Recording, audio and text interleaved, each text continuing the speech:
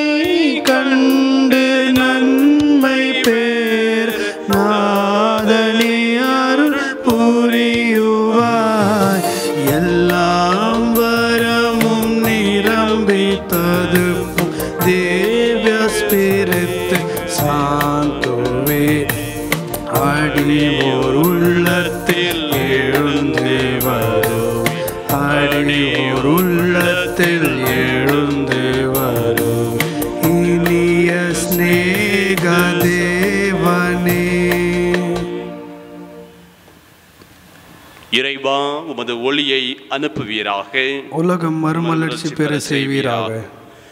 ஜெபிப்போமாக. எல்லாம் அல்ல இறைவா உமது தூய ஆவியின் ஒளியால் மக்களுக்கு அறிவூட்டினீர். அந்த ஆவியால் நாங்கள் நேர்மையானதை உணரவும் அவரது ஆறுதலை பெற்று என்றும் மகிழ அருள் புரியும்.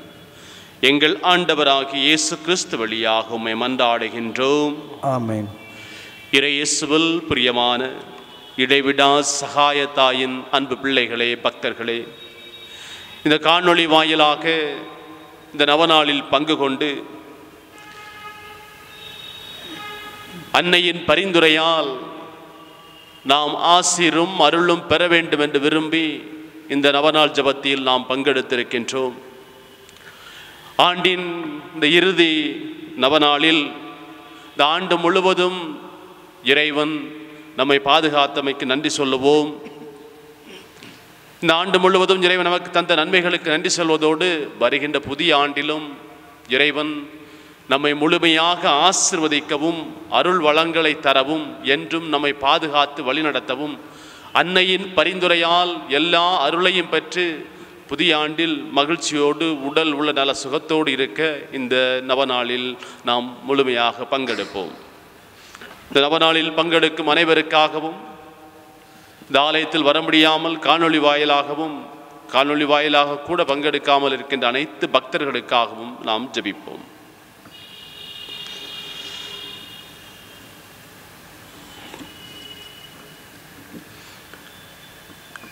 என் நிறைவா நன்மை நிறைந்தவர் நீர் அனைத்திற்கும் மேலாக அன்புக்கு உரியவரும் நீரே. என் பாவங்களால் உம்மை மனநோக செய்து விட்டேன் ஆகவே நான் குற்றங்கள் பல செய்தேன் எனவும் நன்மைகள் பல செய்ய தவறினேன் எனவும் மனம் நொந்து வருந்துகிறேன். உமது அருள் துணையால் நான் மனம் திரும்பி இனிமேல் பாவம் செய்வதில்லை என்றும் பாவத்துக்கு ஏதுவான சூழ்நிலைகளை விட்டு விலகுவேன் என்றும் உறுதி கொண்டிருக்கின்றேன். எங்கள் மீட்பராம் இயேசு கிறிஸ்துவின் பாடுகளின் பயனாக இறைவா என் மேல் இரக்கமாயிரும். ஆமேன். திருத்தந்தையின் கருத்துக்காகவும் இந்த பங்கு தந்தையின் கருத்துக்காகவும் இங்கே இருக்கின்ற குருக்களின் கருத்துக்களுக்காகவும் இந்த காணொளி வாயிலாகவும் இந்த ஆலயத்தில் வருகின்ற அனைத்து பக்தர்களுக்காகவும் நாம் இறைவனிடம் ஜெபிப்போம்.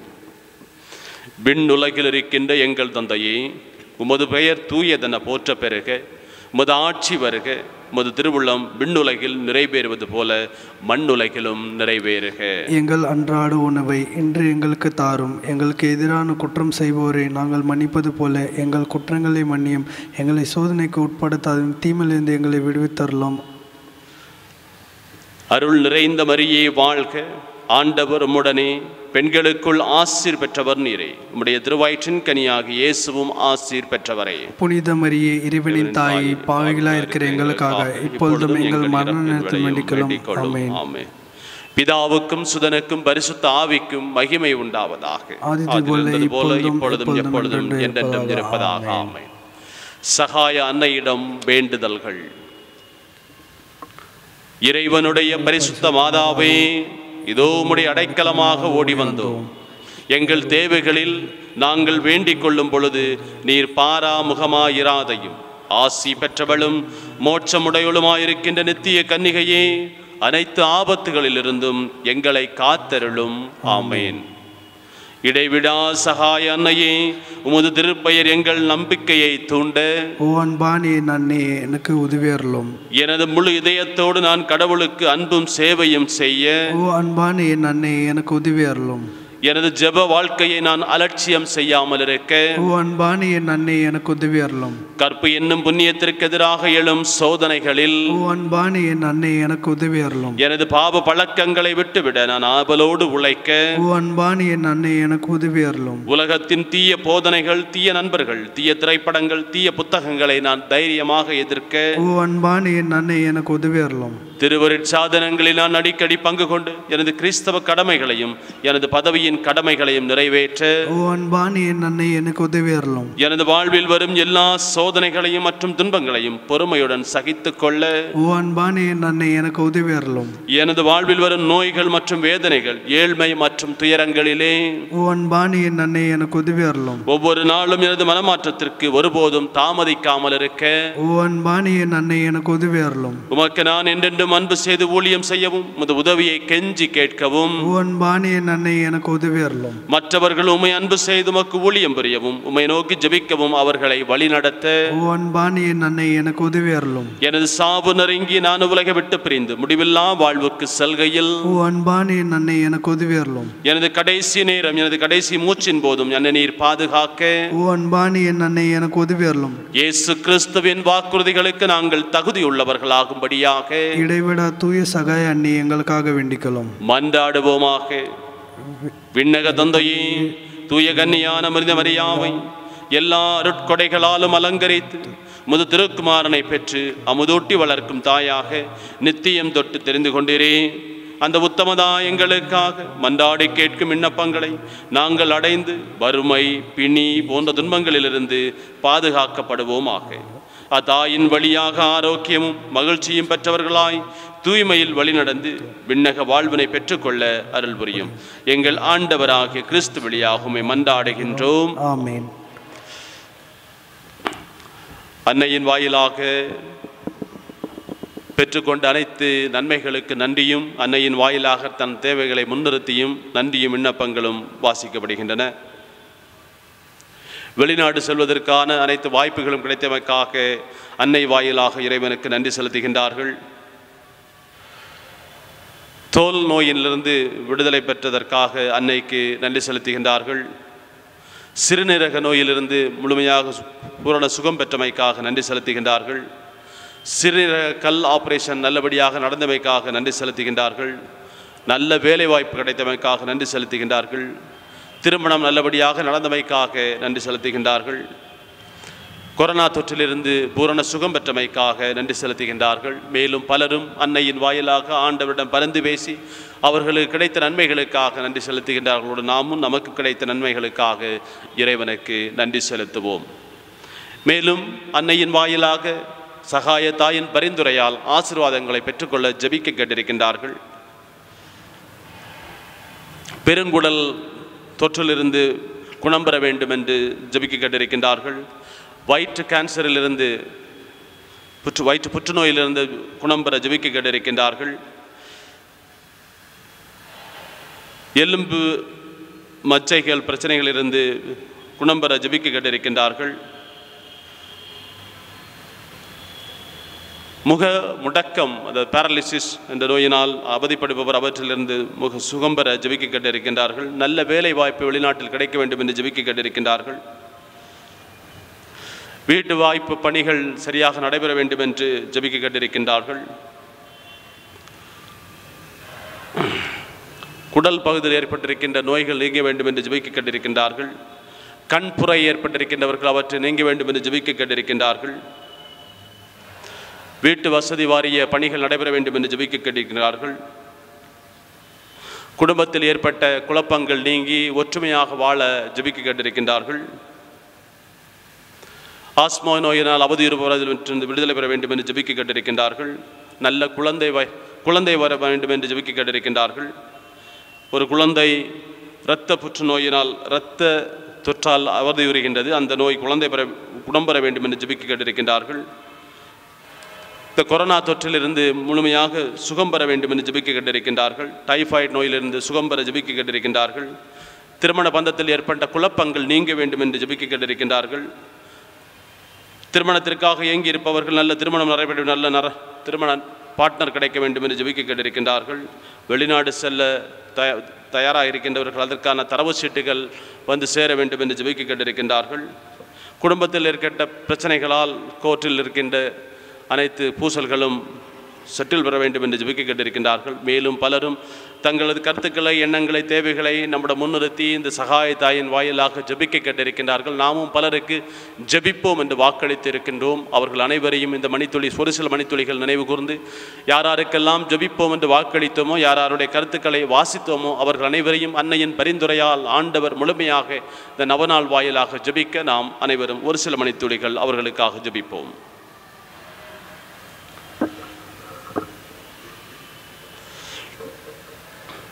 ஓ இடைவிடா சகாய மாதாவே. உமது உதவியை தேடி உமது நம்பிக்கை வைத்து உமது வாதங்களில் விழுந்து கிடக்கும் நிற்பாக்கிய பாவியான என்னை பார்த்தருளும். இரக்கத்தின் மாதாவே என் பேரில் இரக்கமாயிரும் நீர் பாவிகளின் அடைக்கலமும் நம்பிக்கையுமாயிருக்கிறீர் என்று எல்லாரும் சொல்ல கேள்விப்படுகிறேன். ஆதலால் என் அடைக்கலமும் நம்பிக்கையுமாயிரும். இயேசு கிறிஸ்துவின் சிநேகத்தை முன்னிட்டு உமக்குரிய ஊழியனாக ஒப்புக் கொடுக்கின்றேன் என்னை கை தூக்கி ரட்சியும் சர்வ வல்லமையுள்ள கடவுள் தமது இரக்கத்தால் உம்மிடம் நான் இந்த நம்பிக்கை கொள்ளும்படி செய்ததற்கு தோத்திரமும் நன்றியும் செலுத்துகின்றேன். இந்த நம்பிக்கை என் நித்திய ரட்சணியத்தின் அறிகுறியாகும். உமது உதவியை தேடாததால் கடந்த காலத்தில் நான் பாவத்தில் மூழ்கினதுமைதான். உமது உதவியால் வெற்றி அடைவேன் என்று நான் அறிவேன்.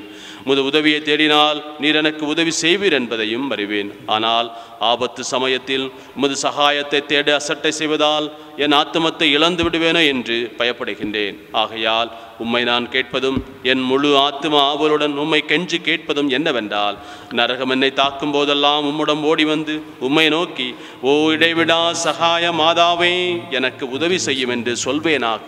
ஆமேன். இடைவிடா சகாய மாதாவே. உமது பிள்ளைகளுக்காக வேண்டிக்கொள்ளும். அருள் நிறைந்த மரியே வாழ்க கர்த்தருமுடனே பெண்களுக்குள் ஆசீர் பெற்றவர் நீரே உம்முடைய திருவாய்ச்சின் கனியாக இயேசுவும் ஆசீர்வதிக்கப்பட்டவரே. புனித மரியே இறைவனின் தாய் பாவங்களா இருக்கிற எங்களுக்காக இப்பொழுதும் எங்கள் மரண நேரத்தில் வேண்டிக்கலாம் ஆமேன். இடைவிடா சகாய மாதாவே. உமது பிள்ளைகளுக்காக வேண்டிக்கொள்ளும். அருள் நிறைந்த மரியே வாழ்க கர்த்தருமுடனே பெண்களுக்குள் ஆசீர் பெற்றவர் நீரே உம்முடைய திருவாய்ச்சின் கனியாகி இயேசுவும் ஆசீர் பெற்றவரே. புனித மரியே இறைவனின் தாய் பாவங்களா இருக்கிற எங்களுக்காக இப்பொழுதும் எங்கள் மரண நேரத்தில் வேண்டிக்கலாம் ஆமேன். இடைவிடா சகாய மாதாவே உமது பிள்ளைகளுக்காக வேண்டிக்கொள்ளும். அருள் நிறைந்த மரியே வாழ்க கர்த்தருமுடனே பெண்களுக்குள் ஆசீர் பெற்றவர் நீரே. உம்முடைய திருவாய்ச்சின் கனியாக இயேசுவும் ஆசீர் பெற்றவரே. புனித மரியே இறைவனின் தாய் பாவங்களா இருக்கிற எங்களுக்காக இப்பொழுதும் எங்கள் மரண நேரத்தில் வேண்டிக்கலாம் ஆமேன். ஓ இடைவிடா சகாய தாயே சக்தி வாய்ந்த முது திருப்பெயரை கூவி அழைக்கின்றோம் வாழ்வோரின் பாதுகாவலும் மறிப்போரின் மீட்பெருமாயிருப்பவர் நீரே. முது திருப்பெயர் எங்கள் நாவில் என்றும் ஒலிப்பதாக. முக்கியமாக சோதனை நேரத்திலும் மரண வேளையிலும் முது திருப்பெயரை கூவி அழைப்போமாக. உமது திருப்பெயர் நம்பிக்கையும் சக்தியும் வாய்ந்தது. ஆசிர்வதிக்கப்பட்ட அன்னையே நாங்கள் உம்மை அழைக்கும் போதெல்லாம் எங்களுக்கு உதவி செய்திடலும். நாங்கள் உமது திருப்பெயரை உச்சரிப்பதோடு திருப்தி அடைய மாட்டோம். நீரே எங்கள் இடைவிடா சகாயத்தா என்பதை எங்களது தினசரி வாழ்க்கையில் எடுத்து காட்டுவோம். இடைவிடா சகாய தாயே இறைவனிடம் சக்தி வாய்ந்தவளே எங்களுக்காக இந்த வரங்களை பெற்றுத்தாரும் சோதனைகளை வெல்லும் பலத்தையும் இயேசு கிறிஸ்துவிடம் தூய்மையான அன்பையும் நல்ல மரணத்தையும் அடைந்து தாரும். உம்மோடும் உம் திருக்குமாரனோடும் என்றென்றும் வாழ அருள் புரியும். ஜெபிப்போமாக. ஆண்டவராக இயேசு கிறிஸ்துவே உமது தாயாக மரியம்மாளின் அற்புத படத்தை வணங்கும் எங்களுக்கு என்றும் உதவி செய்ய தயாராக இருக்கும் மாதாவாக கொடுத்திருக்கிறீரே. அவருடைய தாய்க்குரிய சலுகைகளை தேடுகின்ற நாங்கள் முதலட்சணியத்தின் பேருபலன்களை நித்தியத்துக்கும் அனுபவிக்க பாக்கியவான்களாகும்படி எங்களுக்கு அருள் புரியும். என்றென்றும் வாழ்ந்து ஆட்சி புரிகின்றவர் நீரே. ஆமென்.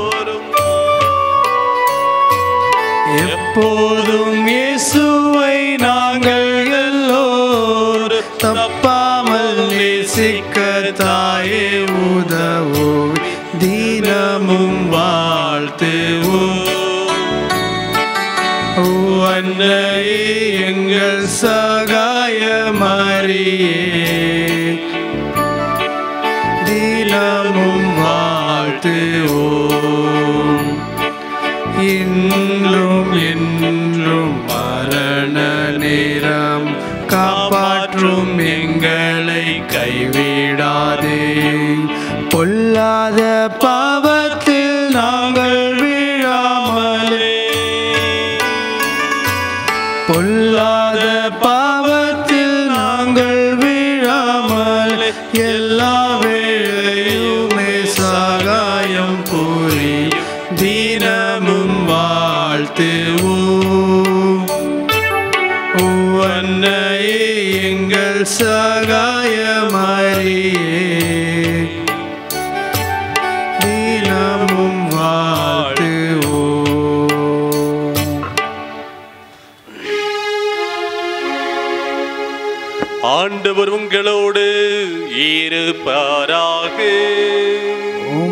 உம் ஆன்மாவோடும் இருப்பாராக.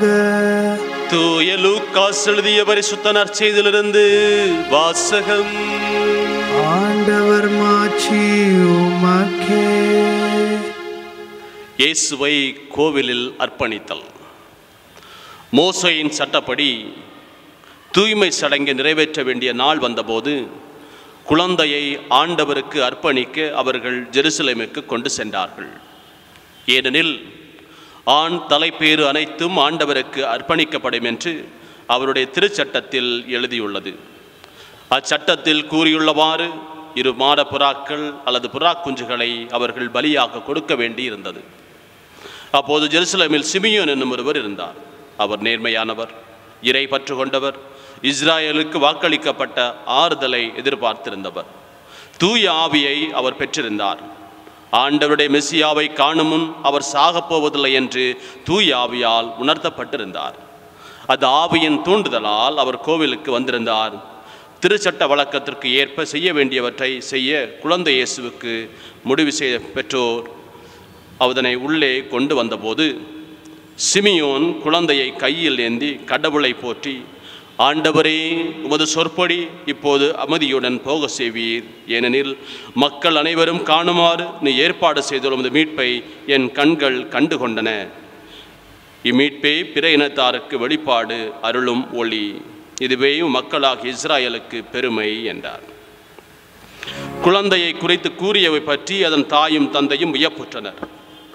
சிமியோன் அவர்களுக்கு ஆசி கூறி அதன் தாயாகிய மரியாவை நோக்கி இதோ இக்குழந்தை இஸ்ராயல் மக்களில் பலரின் வீழ்ச்சிக்கும் எழுச்சிக்கும் காரணமாக இருக்கும் எதிர்க்கப்படும் அடையாளமாகவும் இருக்கும். இவ்வாறு பலருடைய மறைவான எண்ணங்கள் வெளிப்படும். உமது உள்ளத்தையும் ஒரு வாழ் ஊடுருவி பாயும் என்றார்.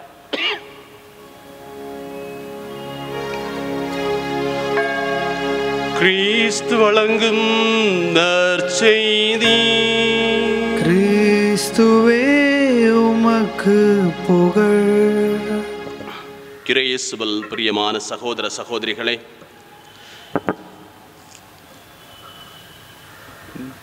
கடந்த ஞாயிற்றுக்கிழமை அதாவது சென்ற ஞாயிற்றுக்கிழமை நாம் திருக்குடும்ப பெருவிழாவை கொண்டாடினோம். ஆண்டின் இறுதி ஞாயிறது நாம் ஆண்டின் இறுதி பகுதியில் இருக்கின்றோம். இந்த ஆண்டு நாம் எதிர்பார்த்ததை விட பல்வேறு இன்னல்களுக்கும் துன்பங்களுக்கும் இடரல்களுக்கும் மன உளைச்சல்களுக்கும் பொருளாதார சிக்கல்களுக்கும் ஆளாகி குடும்பங்களில் பல பிரச்சனைகளும் குடும்பங்களில் பல தோல்விகளையும் நாம் சந்தித்து இறை பக்தியால் இறை திட்டத்தால் அன்னையின் வாயிலில் ஆசிரையும் பெற்று நலமாக வளமாக வாழ வேண்டும் என்ற நம்பிக்கையோடு வாழ்ந்து கொண்டிருக்கின்றோம். ஆக வருகின்ற ஆண்டாவது நமக்கு அமைதியையும் மகிழ்ச்சியையும் சமாதானத்தையும் தரும் ஆண்டாக இருக்க வேண்டும். ஆக நம் குடும்பங்களை இந்த ஆண்டின் இறுதி காலத்தில் இறுதி பகுதியில் இறுதி வாரத்தில் இந்த ஆண்டின் இறுதி இந்த நவநாளில் நாம் தாயிடம் ஒப்படைத்து தாயின் வாயிலாக நாம் பாதுகாப்பும் அரணும் அருளும் ஆசிரியரும் பெற்றுக்கொள்ள நம்மை நாம் தகுதியாக்குவோம். ஆக குடும்பம் ஒரு கோயில் என்பார்கள் குடும்பம் ஒரு பல்கலைக்கழகம் என்பார்கள் ஆக குடும்பம் நலமாக வளமாக இருக்க வேண்டுமென்றால் குடும்பத்தில் இருப்பவர்கள் ஒன்றுபட்டு ஒரே எண்ணத்தோடு ஒரே சிந்தனையோடு இருப்பதை பகிர்ந்து கொண்டு எண்ணங்களையும் செயல்களையும் பகிர்ந்து விட்டு கொடுத்து அன்பு செய்து வாழ்ந்தால்தான் அந்த குடும்பம் கோயிலாக பல்கலைக்கழகமாக இருக்கும். மாறாக அது குடியிருக்கின்ற இடமாக பிரச்சனைகள் இடமாகத்தான் இருக்கும். ஆக திருக்குடும்ப பெருவிழாவில் இயேசுவின் இதயத்தையும் அன்னை மரியாளின் இதயத்தையும் சூசைப்பின் இதய இதய சூசையின் ஜோசப்பின் இதயத்தையும் நாம் அவர்கள் எப்படிப்பட்டவர்களாக அந்த இதய வாழ்வு இருந்தது என்று சிந்தித்து நமது குடும்பங்களிலும் இதயம் ஒன்றுபட்டு முரண்படாமல் நாம் குடும்பம் மகிழ்ச்சியின் குடும்பமாக குடும்பம் ஒரு கலைக்கூடமாக பல கலைகளை கற்றுக்கொண்டு அமைதியின் குடும்பமாக வாழ நம்மை நாம் தயாரிப்போம். வீடுகள் கட்டப்பட எப்படி செங்கல்கள் அடுக்கப்படுகின்றதோ அதுபோது குடும்பங்கள் நலமாக இருக்க இதயங்கள் ஒன்றாக செயல்பட வேண்டும். ஆக இதயங்கள் ஒன்றாக செயல்பட்டால்தான் அது நல்ல குடும்பமாக மகிழ்ச்சியின் குடும்பமாக இருக்கும். இதயங்கள் முரண்பட்டால் அந்த குடும்பத்தில் மகிழ்ச்சி இருக்காது. ஆக நாம் முரண்பட்ட இதயம் உடைய இல்லாமல் ஒன்றுபட்ட இதயமுடையவர்களாக அரவணைக்கக்கூடியவர்களாகவும் விட்டுக் கொடுப்பவர்களாகவும் மன்னிக்கக்கூடியவர்களாகவும் பகிரக்கூடிய இதயத்தை கொண்டவர்களாகவும் வாழ்வோம். முதலாவது நாம் சூசேப்பரின் இதயத்தை பார்த்தோம் என்றால் அவரது இதயம் திறந்த இதயம். மனித சூழலால் மனித எண்ணத்தால் மனித சிந்தனையால் மனித வாழ்வால் கன்னிமரியாள் அன்னை மரியாள் திருமணத்திற்கு முன்பாகவே கருவுற்றார் என்பதை தெரிந்து கொண்டு அவரை விலக்கிவிட எண்ணுகின்றார். ஆனால் கனவில் இறை தூதர் வழியாக ஆண்டவர் அவருக்கு வாக்குரைத்தபடி அவற்றையெல்லாம் மறந்து மரியாளை மனைவியாகவும் குழந்தை இயேசுவுக்கு மனித தகப்பனாகவும் தன்னை தயார்படுத்திக் கொள்கின்றார். அந்த திறந்த இதயம் மரியாளை ஏற்றுக்கொண்டது அந்த திறந்த இதயம் இயேசுவின் அது கடவுளின் வாக்குறுதிகளையும் ஏற்று அதை நம்பி அதன்படி வாழ தன்னை தகுதிப்படுத்தி கொண்டமையால் தான் இன்றும் நாம் அனைத்திலும் முதன்மையான ஒரு புனிதராக அவரை பார்க்கின்றோம். குடும்பங்களின் தலைவனாக குடும்பங்களின் தலைவனுக்கு நல்ல வழிகாட்டியாக நல்ல ஒரு குடும்ப தலைவன் திறந்த இதயம் கொண்டிருந்தால் பிறர் சிந்தனைகளை பிறர் எண்ணங்களை வாங்கி கொண்டு சிந்தித்து அதன்படி குடும்பம் சுமூகமாக வாழ அவர் முற்படுவார். அதைத்தான் புனித சூசேப்பர் திறந்த இதயம் கொண்டவராக வாழ்ந்தார். திறந்த இதயம் இல்லாததில் அது வந்து தேங்கும் குட்டையாகத்தான் இருக்கும். பல குடும்பங்களில் பிரச்சனைகள் வர காரணம் அவர்கள் உள்ளங்கள் இதயங்கள் தேங்கும் குட்டையாக இருக்கிறான் தேங்கும் குட்டை என்றால் அந்த நீர் ஒரு இடத்திலிருந்து ஒரு இடத்திற்கு செல்லாது குளமாக இருக்கும். அது பல நாட்கள் தேங்கும் போது நாற்றம் அடிக்கும் பல கிருமிகள் அங்கு உருவாகும். மனிதன் பயன்படுத்தக்கூடாத இடமாக இருக்கும் ஆக இதயம் திறங்க திறந்து திறக்கப்படவில்லை என்றால் இதயம் மூடி இருந்தால் அது தேங்கும் குட்டையாக இருந்தால் குடும்பங்களில் அதை சமமாக்க ஏற்றுக்கொள்ள மனவலிமை இல்லாமல் பிரச்சனைகள் உருவாகும் இடமாகத்தான் இருக்கும். குடும்பம் ஒரு கோயில் என்று சொல்லும் நிலைக்கு குடும்ப தலைவரின் இதயம் திறக்கப்படாமல் இருக்கும். ஆக சூசேப்பரை முன்னிறுத்தி குடும்பங்களை நாம் நினைவு கூறும்போது நம் இதயங்களை திறந்து வைத்து பிறர் கருத்துக்களை பிறர் எண்ணங்களை பிறர் செயல்களை உள்வாங்கி அவற்றை சிந்தித்து நல்லவற்றை எடுத்து நலமாக வாழ நாம் முற்படுவோம். அன்னை மரியாளின் இதயம். அன்னை மரியாளின் இதயம் எப்படிப்பட்டதென்றால் இறை வார்த்தையால் நிரம்பிய இதயம். இறை வார்த்தையால் நிரம்பிய இதயம் என்பதால் பிறருடைய செயல்கள் அங்கு வர தாமதமானது இதயம் அல்ல. மாறாக உமது உள்ளத்தையும் ஒரு வாழ் ஊடுருவும் என்று சொன்னது போன்று இறை வார்த்தையால் தனது உள்ளத்தை ப- பண்படுத்த அவர் தயாராகி கொண்டிருந்தார். தன்னை தயாரித்துக் கொண்டார். ஆக அன்னை மரியாளின் இதயம் இறை வார்த்தையால் மட்டும் நிரப்பப்படவில்லை. அந்த இறை வார்த்தை தனது உள்ளத்தை கூறு செய்யவும் அந்த இறை வார்த்தை தன்னை பண்படுத்தவும் அந்த இறை வார்த்தையின்படி அந்த இறை வார்த்தை முழுமையாக நம்பினார். அன்னை மரியாள் இறை வார்த்தையின் உண்மையை இறை வார்த்தையின் உண்மையான பிடிப்பை உணர்ந்து கொண்டார். ஏனென்றால் இறை வார்த்தை மகிழ்ச்சி தருவது என்பது அவருக்கு தெரியும் இறை வார்த்தை குணப்படுத்தும் என்பது அவருக்கு தெரியும் இறை வார்த்தை பாவத்திலிருந்து விலகச் செய்யும் என்பது அவருக்கு தெரியும் இறை வார்த்தை ஊக்கத்தையும் ஆக்கத்தையும் தரும் என்பது அவருக்கு தெரியும்.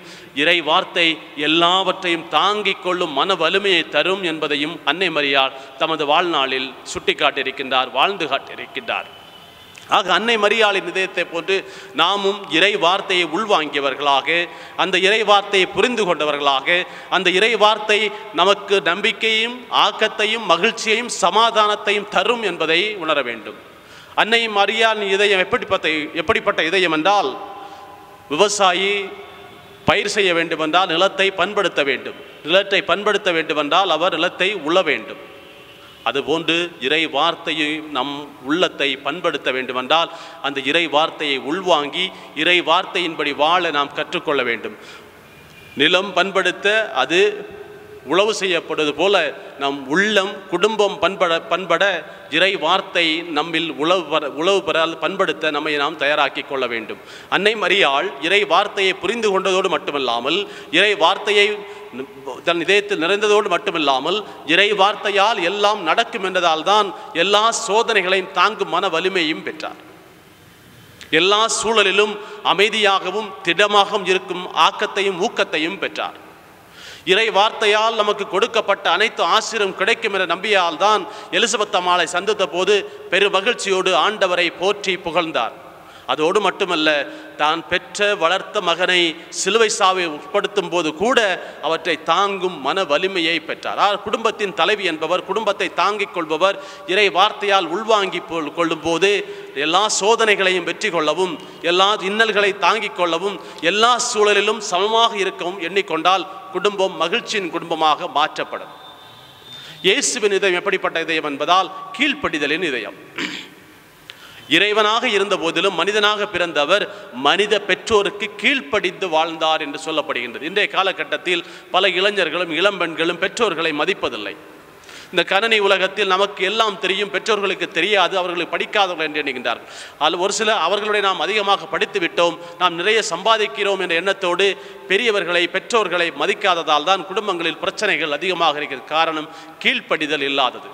இரண்டாவது லட்சியம் இல்லாத வாழ்க்கை. பல இளைஞர்களின் வாழ்க்கையில் இன்னல்களும் இடர்பாடுகளும் தோல்விகளும் வர காரணம் லட்சியம் இல்லாத வாழ்க்கை. எப்படி அவர்களும் வாழ்கிறார்கள் நாமும் வாழ்கின்றோம் என்று வாழ்கின்றார்களே தவிர தான் அடைய வேண்டிய லட்சியத்தை அதன் குறிக்கோளை உணர்ந்து அதற்கு உட்பட்டவாறு வாழ வேண்டும் என்பதை மறந்து விடுகின்றார்கள் ஆனால் இயேசு பனிரெண்டு வயதாக இருக்கும்போதே லட்சியத்தோடு வாழ்ந்தார். காணாமல் போன இயேசுவை மூன்று நாட்களுக்கு பின் கண்ட பின்பு அவர்களிடம் கேட்டபோது அவர் சொல் உங்களுக்கு தெரியாதா? நான் தந்தையின் அலுவலில் ஈடுபட்டிருப்பேன் என்று. தான் இந்த உலகத்திற்கு எதற்காக வந்தேன்? எதற்காக பிறந்தேன்? எதற்காக நான் பல காரியங்களை செய்து கொண்டிருக்கின்றேன்? நான் எப்படி கையளிக்கப்பட போகின்றேன்? தன் சாவு எப்படிப்பட்டதாக இருக்கும் என்பதை உணர்ந்தமையால் அதற்கு தன்னை உட்படுத்தி அதன்படி வாழ கற்றுக்கொண்டார். லட்சியம் என்பது அதுதான் எதை நோக்கி பயணம் செய்கின்றனமோ அதை நாம் உள்வாங்கி அதை சரியாக பயணம் செய்தவென்றால் நாம் வெற்றிகளை இப்போ தோல்வி வரும் இன்னல்கள் வரும் இடர்பாடுகள் வரும். ஆனால் வெற்றி நிச்சயம். குடும்பம் என்பது பல இதயங்களை ஒன்றடக்கியது. அந்த இதயங்கள் எல்லாம் ஒருவருக்கொருவர் விட்டு கொடுக்கவும் ஒருவரை ஒருவர் ஏற்றுக்கொள்ளவும் ஒருவர் சொல்லு கருத்தை உணர்ந்து கொள்ளவும் நாம் முன்வர வேண்டும். குடும்பங்களில் வெற்றி பெற வேண்டும் என்றால் குடும்பங்களில் குடும்ப ஜபங்கள் இருக்க வேண்டும். எந்த குடும்பங்களிலெல்லாம் குடும்ப ஜெபம் சொல்லப்படுகின்றதோ அங்கு குடு ஒற்றுமை மேலோங்கி இருக்கும். குடும்ப ஜெபம் என்ன செய்யும்? அனைவரையும் ஒற்றுமையாக கொண்டு வரும். கருத்துக்களை பரிமாற சொல்லும். பரிமாறும் கருத்துக்களை உள்வாங்க சொல்லும். உள்வாங்கும் கருத்துக்களை நல்லவற்றை மட்டும் எடுத்துக்கொண்டு அதன்படி வாழ முற்படும் போது மகிழ்ச்சியும் அமைதியும் வெற்றியும் அந்த குடும்பத்திற்கு நிச்சயம் காரணம். ஜெபம் உங்களை ஒன்று கூட்டும். ஜெபம் உங்களை ஊக்கப்படுத்தும். ஜெபம் உங்களுக்கு மகிழ்ச்சியை தரும். ஜெபம் உங்களுக்கு வாழ்வை வழியை காட்டும். எந்தெந்த குடும்பங்கள் சீரழிவை ஏற்படுத்துகின்றது என்றால் அங்கு குடும்ப ஜெபமாலையோ குடும்ப ஜெபங்களோ இருக்காது. அங்கு பிரச்சனைகளும் இடர்பாடுகளும் இன்னல்களும் அதிகமாக இருக்கும். ஏனென்றால் குடும்ப ஜெபம் இல்லாத போது ஒற்றுமை இருக்காது. ஒற்றுமை இல்லாத போது பிறர் சொல்லும் கருத்தை உள்வாங்கும் மனநிலை இருக்காது. பிறர் வாங்கும் சொல்லும் க சொல்லும் கருத்தை உள்வாங்க மனநிலை இல்லாத போது எதோச்சியான வாழ்வில் எடுத்துக்காட்டான வாழ்வில்லாமல் சண்டை போடும் வாழ்வாக சச்சரை மிக்க வாழ்வாக இருக்கும். ஆக தந்தை வந்தால் மகன் இருக்க மாட்டார் மகன் வந்தால் தாய் இருக்க மாட்டார். ஒரே வீட்டில் இருப்பார்கள் ஆனால் பேச மாட்டார்கள். மார்க்கர் செய்தியில் மிக தெளிவாக சொல்லப்படும் அவர் வீட்டில் இருக்கின்றார் என்பதை அறிந்து கொண்டு மக்கள் கூட்டம் அங்கு வந்தது என்று. ஆக கடவுள் நம்மோடு இருக்க வேண்டும் என்றால் மீண்டும் மத்திய இவர்ச்சியில் சொல்லப்படும். பதினெட்டாவது இரு- இருபதாவது வார்த்தை எங்கே இரண்டு அல்லது மூன்று பேர் கூடி வாழுகின்றார்கள் அவர்கள் மத்தியில் நான் இருப்பேன் என்கின்றார். ஆலயம் என்பது கூடி வரும் இடம் வருவோம் வந்துவிட்டு சென்று விடுவோம். ஆனால் ஆலயத்தில் இறைவன் இருப்பார் என்றால் நம்ம அமைதியோடு ஆண்டவரை உற்று நோக்க வருபடும் பல இல்லங்களில் குடி வாழ்கின்றோம் ஆனால் இறைவன் இருப்பின்றார் என்றது தெரியாது. பலரும் வாழ்வார்கள். தந்தையிடம் மகனை பற்றி கேட்டால் அது எங்கு போனது என்று தெரியாது என்று சொல்வார். தாயிடம் கணவரை பற்றி கேட்டால் என்றால் அவர் இங்குதான் இருக்கின்றார் நாங்கள் பேசி பல ஆண்டுகள் ஆகிவிட்டது என்பார்கள். இப்படி குடும்பத்தில் இருப்பார்கள் தந்தையும் தாயும் மகனும் தாயும் மகனும் தகப்பனும் என்று பலரும் பேசாமலே வாழ்வார்கள். வந்து உணவு சென்று தூங்கி செல்லும் இடமாக இருக்கும் அது குடியிருக்கின்ற இடம் இது கூடி வர இருக்கு. அது வல்ல இறைவன் வாழும் இடம். இறைவன் வாழும் இடம் என்றால் கூடி வாழுகின்ற இடம். எங்கு இதயங்களெல்லாம் ஒன்றிணைந்து இதயங்களெல்லாம் அன்பு செய்து இதயங்களெல்லாம் பிணைக்கப்பட்டு எங்கு ஒருவர் சொல்லும் கருத்தை பிறர் ஏற்றுக்கொண்டு கீழ்ப்படிந்து அன்பின் பிரமாணிக்கமாக வாழ கூடி வாழுகின்றார்களோ அங்கு இறைவன் இருப்பார். ஆக இறைவன் நம்மோடு என்றும் இருக்க விரும்புகின்றார். நம்மோடு அன்பு அமைதியாக இருக்க விரும்பவில்லை. நம்மை ஆசிர்வதிக்க ரட்சிக்க பாதுகாக்க வழிநடத்த எல்லா இன்னல்களிலிருந்தும் வெற்றியை நமக்கு தரவும் தயாராக இருக்கின்றார் சொல்லுகின்றார் என்ன பேசுவது எதை பேசுவது என்று கவலைப்பட வேண்டாம். உங்களுக்கு அருளப்படும். ஏனென்றால் பரிசுத்த ஆவி ஆவியின் துணையோடு ஜெப வாழ்வோடு நாம் இணைந்திருந்தோம் என்றால் நமக்கு அது அருளப்படும். ஆக நாம் நாளை என்ன செய்ய போகிறோம்? அடுத்த ஆண்டு என்ன செய்ய போகிறோம் என்று இருப்பதை தொலைத்து விடாமல் இருக்கின்ற நாளில் இருக்கின்ற நேரத்தில் இருப்பதை வைத்து மகிழ்ச்சியோடு வாழவும் இருக்கின்ற மனிதர்களோடு மகிழ்ந்து வாழவும் நம்மிடம் இருக்கின்ற கருத்துக்களை பரிமாறவும் ஒருவருக்கொருவர் மன்னிக்கவும் ஏற்றுக்கொள்ளவும் விட்டுக் கொடுக்கும் மனப்பான்மையை உருவாக்கி கொண்டவென்றால் நமது குடும்பம் ஒரு பல்கலைக்கழகம் என்று சொல்லலாம். ஆக குடும்பத்தின் தலைவன் சுமைகளை தாங்கும் ஆணிகளாகவும் குடும்பத்தின் தலைவி குடும்பத்தை உயர்த்தும் ஏணிகளாகவும் பிள்ளைகள் அனைவரும் பெற்றோர்களை கரை சேர்க்கும் தோணிகளாகவும் நம் மனப்பான்மையை உருவாக்கி கொண்டவென்றால் வருகின்ற ஆண்டில் மகிழ்ச்சியின் ஆண்டாக அன்னை மரியாளின் பரிந்துரையால் அனைத்து ஆசிரியும் கடவுளிருந்து பெற்றுக்கொண்டவர்களாக இந்த ஆண்டை விட சிறந்த ஆண்டாக இந்த ஆண்டில் ஏற்பட்ட இந்த கொரோனா தொற்றினால் ஏற்பட்ட அவதூறுகள் இன்னல்கள் இடர்பாடுகள் சமூக சமுதாய பிரச்சனைகள் விவசாய பிரச்சனை இவற்றையெல்லாம் விடுபட வேண்டும் என்று தொடர்ந்து அன்னை மரியாள் வாயிலாக ஆண்டவரிடம் மன்றாடுவோம்.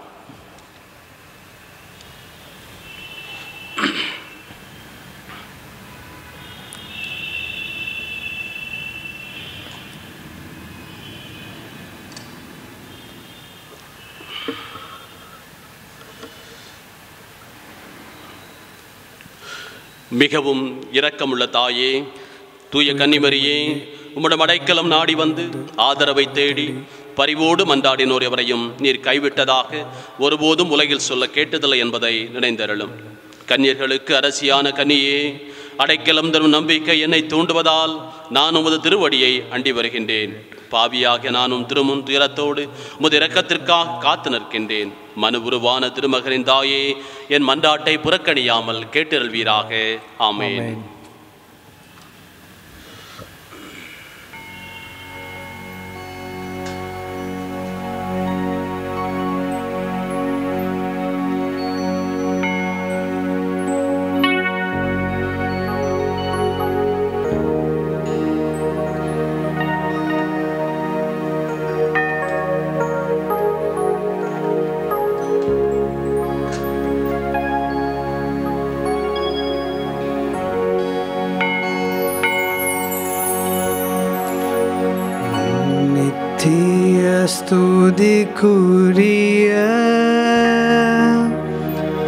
परिशुद्ध नर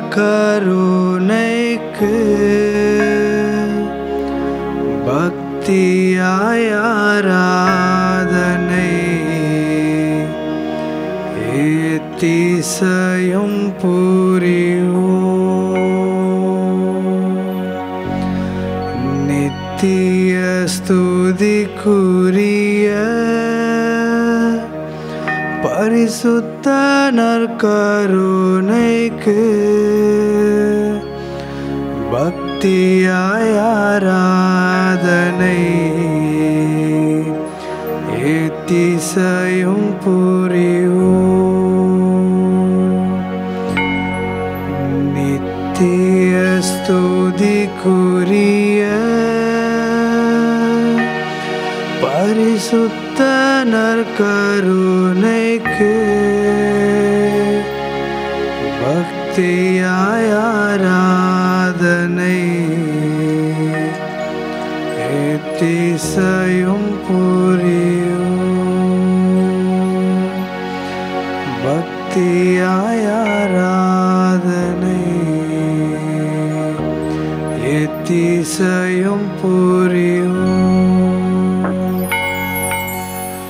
இறையேசுவல் பிரியமானவர்களே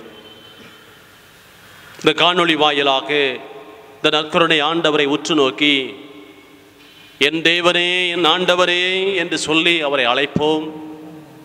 ஆண்டு முழுவதும் நம்மை பாதுகாத்தமைக்காக அந்த ஆண்டவருக்கு நன்றி சொல்லுவோம். பல்வேறு சோதனைகளுக்கு மத்தியிலும் இந்த கொரோனா தொற்றின் மத்தியிலும் இறைவன் நம்மை பாதுகாத்து வழிநடத்தியமைக்காக நன்றி சொல்லுவோம். மேலும் வருகின்ற ஆண்டில் நம்மை முழுமையாக பாதுகாத்து வழிநடத்தவும் நம்மை ஒளியின் மக்களாக மகிழ்ச்சியின் மக்களாக வெற்றியின் மக்களாக நிறைவின் மக்களாக மாற்றவும் நாம் எதிர்பார்த்திருக்கும் எல்லா நலன்களும் தேவைகளும் நம்மை வந்து அடைய வேண்டும் என்றும் ஆண்டவரை உற்று நோக்குவோம். வழியும் வாழ்வுமானவரே நாங்கள் யாரிடம் செல்வோம் வாழ்வுதவரும் வார்த்தை நீர்தாமே என்று உள்வாங்கிய எண்ணத்தோடு அந்த வார்த்தையின் அர்த்தத்தை புரிந்தவர்களாக பொன்னோ பொருளோ உலகோ மனிதனோ தர இயலாத அமைதியை இந்த ஆண்டவர் ஒருவரால் மட்டுமே தர இயலும் என்பதை நம்புவோம்.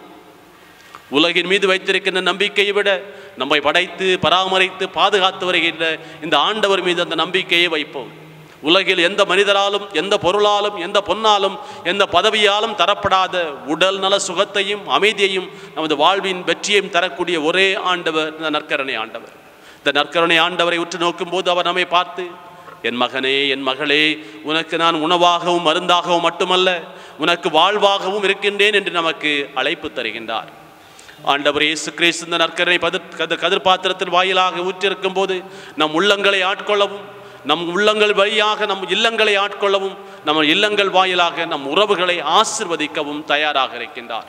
ஆக இந்த நற்கருணை ஆண்டவரை உற்று நோக்கி என் நிறைவா என் தேவனே என்னில் வாரும் என்று அவரை மௌனமாக அழைத்து நாம் ஆசிர் பெறும் மக்களாக அன்பு பெறும் மக்களாக புதிய ஆண்டில் அமைதியை விரும்பும் மக்களாக நம்மை மாற்றிக்கொள்ள இந்த நற்கருணை ஆண்டவரை உற்று நோக்கி ஜெபிப்போம். நாம் பல்வேறு தேவைகளோடு இந்த நவநாளில் பங்கு கொண்டிருக்கின்றோம். தேவைகள் பல அவற்றில் உடல் உள்ள நல சுகம் பெற வேண்டும் என்று நாம் ஜெபிக்க கேட்டிருக்கின்றோம். ஆக இந்த சகாய தாயின் பரிந்துரையால் நற்கருணை ஆண்டவரின் ஆசிரை பெற்று நம்மிடம் இருக்கிற நோயாளிகளுக்காக ஜெபிக்க நாம் கடமைப்பட்டிருக்கின்றோம். பலரும் நம்மிடம் ஜெபிக்க கேட்டிருக்கின்றார்கள்.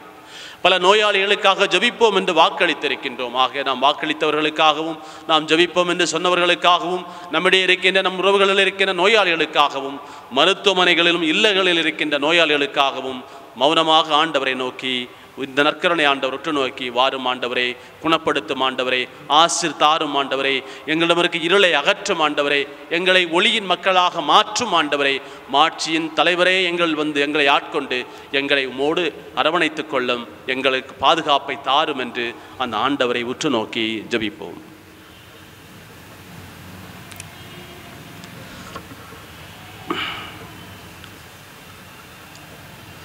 நோயாளிகளை ஆசிர்வதித்தல். ஆண்டவருடைய பெயராலே நமக்கு உதவி உண்டு. விண்ணையும் மண்ணையும் படைத்தவர் அவரே. ஆண்டவரே என் மன்றாட்டை கேட்டருளும் எனது கூக்குரலும் இடம் வருவதாக. ஆண்டவர் உங்களோடு இருப்பாராக. உம்மோடும் இருப்பாராக. மன்றாடுவோமாக. ஆண்டவரே உடல் நோயால் வருந்தும் ஒரு ஊழியரை பாரும் நீர் உண்டாக்கிய மக்களுக்கு ஆறுதல் தாரும்.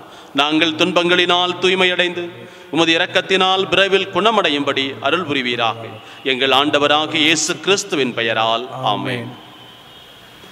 ஆண்டவராக இயேசு கிறிஸ்து உங்களை பாதுகாக்க உங்கள் நடுவிலும் உங்களை காப்பாற்ற உங்களுக்குள்ளும் உங்களுக்கு வழிகாட்ட உங்களுக்கு முன்னும் உங்களுக்கு காவலாயிருக்க உங்களுக்கு பின்னும் உங்களை ஆசிர்வதிக்க உங்கள் மேலும் இருப்பாராக. ஆமென். இடைவிடா சகாய அன்னையின் வேண்டுதலால் தந்தை மகன் தூய ஆவி நம் ஒவ்வொருவரையும் ஆசிர்வதித்து வழிநடத்துவாராக. ஆமென்.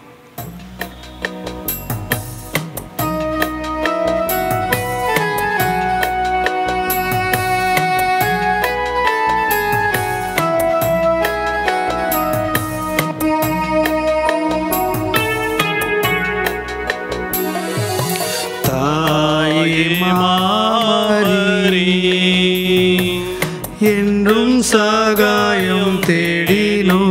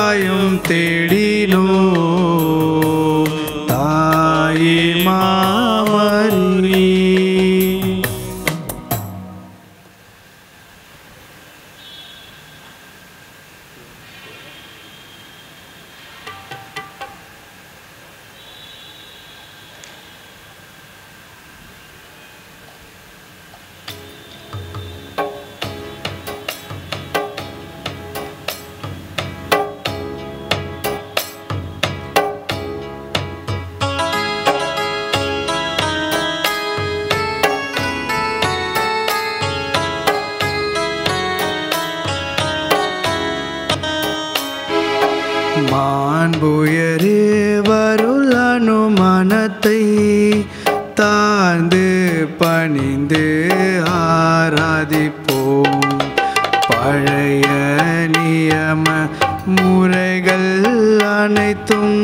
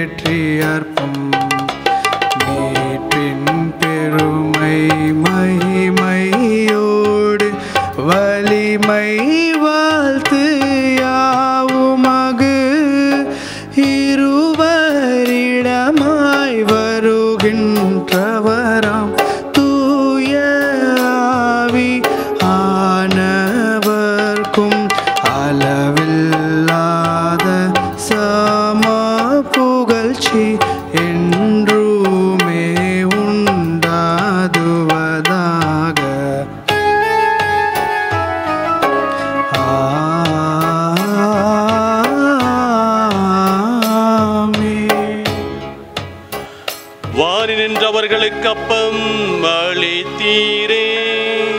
இனிமையெல்லாம் தன்னகத்தை கொண்ட அப்பம் இதுவே மன்றாடுவோமாக இறைவா இந்த வியப்புக்குரிய திருவருட்சாதனத்திலே உம்முடைய திருப்பாடுகள் நினைவை எங்களுக்கு விட்டு சென்றீ உமது திருவுடல் திரு ரத்தம் இவற்றின் மறைபொருளை வணங்கும் நாங்கள் உமீட்பின் பலனை இடைவிடாமல் அனுபவிக்க அருள் புரியும்.